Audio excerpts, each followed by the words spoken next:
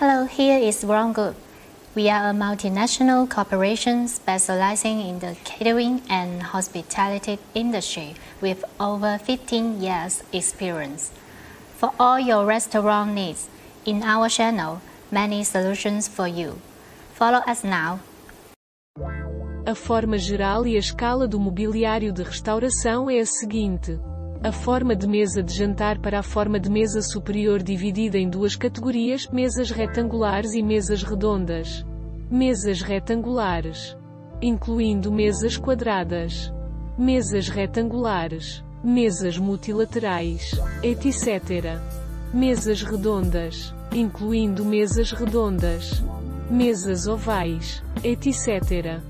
Para suportar a estrutura do tampo da mesa, Há principalmente um tipo de suporte de uma coluna, tipo de suporte duplo, tipo de suporte de quatro patas e outros tipos.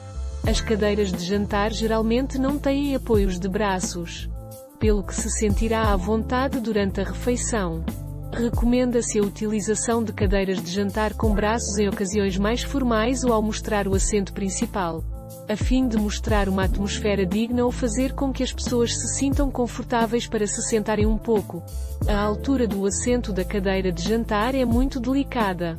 Geralmente deve ser mantida entre 420 a 440 mm, e a diferença de altura entre a superfície da cadeira e a mesa deve ser mantida entre 280 a 320 mm. Além disso, a largura do assento da cadeira não deve ser inferior a 380 mm, a profundidade do assento entre 340 a 420 mm, a altura total do encosto da cadeira entre 850 a 1000 mm é apropriada. A maioria dos armários de jantar são concebidos sob a forma de duas combinações simples superior e inferior, com a extremidade superior a utilizar uma estrutura de porta de vidro para mostrar a bela forma dos utensílios de mesa e de beber. E a sua profundidade situa-se geralmente entre 260 a 350 mm.